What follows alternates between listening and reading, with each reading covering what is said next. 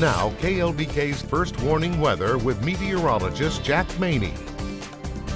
We're in for yet another hot day outside, and actually, if you just saw over the shoulder in the corner, there was a lightning strike as we have a couple of isolated thunderstorms that have popped up out there this morning. Let's take a look over at that tower cam. Maybe we'll get another lightning stroke in there before we have to move on into the show a little bit further. There we go. That was nice. We got a couple of thunderstorms way off towards the north, but they are not really going to be moving in the direction of Lubbock, and I don't think we're going to see much more development than what we have out there right now for this morning. East winds 6 miles per hour and temperatures at 76 degrees. Actually seeing a little bit more cooling this morning as a result of that out, of outflow winds from all those thunderstorms we had around yesterday during the afternoon hours. There's those thunderstorms up there close to the Dimmitt area, northwest of Plainview, west of Tulia. Those are generally drifting towards the west and northwest away from the Lubbock area, so we will probably not be seeing much in the way of any precipitation outside this morning, just partly to mostly cloudy skies to start out the day.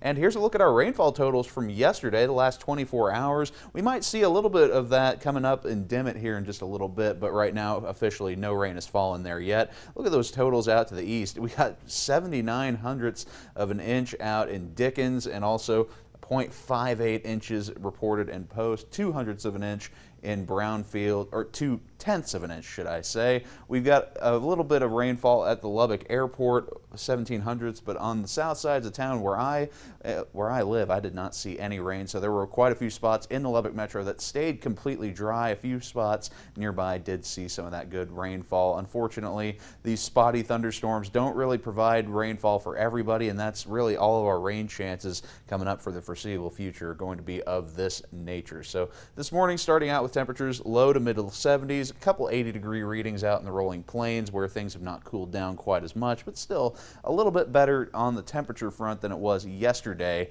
Uh, but this or this afternoon, things are going to get just as bad as they did with our temperature expected to reach about 100 degrees this afternoon. Still a very hot day. Isolated thunderstorms still in the forecast. Not as good of a chance today, though, as yesterday. Only a 10% shot of a few of those storms popping up during the afternoon. But most spots to the east will be reaching the middle 100s to up to about 104, maybe 105 degrees for some spots out in the rolling plains. Upper 90s, low triple digits for areas on the Caprock just in those slightly higher elevations closer to the Lubbock Metro. And winds not going to be too bad, just a light south southeasterly breeze throughout the afternoon. So our, our storm chances today are going to be mostly confined to the afternoon. Once again, expecting storms to develop once we hit peak daytime heating in the afternoon. Just a few isolated pop-up storms here and there. Best chances will be out towards the west, closer to the Texas-New Mexico state line, where there will be a little bit better moisture in the air. So that should provide at least a little bit more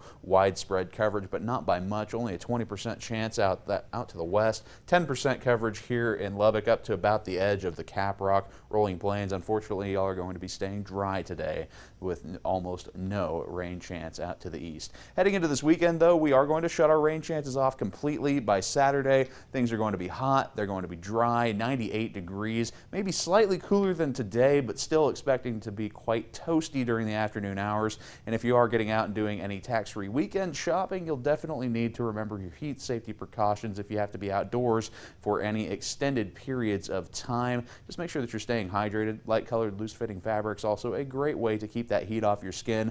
High temperatures today, on Saturday 98 degrees, 97 expected on Sunday. And that's going to be the result of high pressure moving back into our upper levels of the atmosphere. That's going to be shutting down our rain chances once again as it moves on overhead and keeping us very hot through next week. But we are expecting that high to be shifting around just a little bit, and that could definitely bring in a little bit of cooling by Monday and Tuesday, with temperatures actually falling fairly close down to average and maybe bringing a few more of those isolated thunderstorm chances into the forecast by Tuesday or Wednesday, but still looking like a mostly dry forecast for the week ahead. Well, thanks so much, Jack. But still to come on bright and early, we have a look